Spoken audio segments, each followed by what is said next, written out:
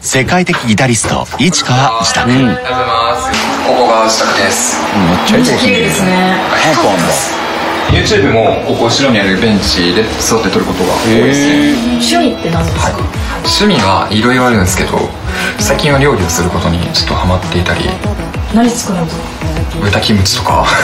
やっぱ手軽に作れて音楽練習したりとか、まあ、ゲームしたり本読むとかの方に時間使いたいんで自分の好きな味を作れるみたいなのがよくて。ギターって全部でどれぐらい持ってるんですか？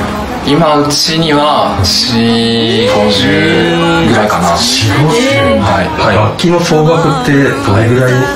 多分わかんないですけどハープとかも足したら2000万とかなのか。なハープやっぱ発想弾いてる動画を YouTube に上げたらそれがすごい回って。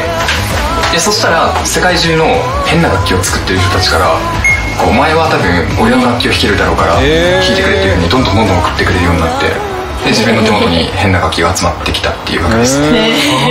これ中にも珍しいギターが。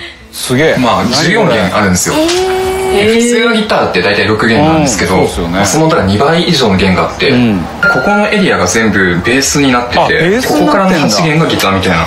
8弦ギターと6弦ベースがくっついたみたいな感じなんですよ、イメー。ジとしてペンにはできんの？よく弾けるな。続いては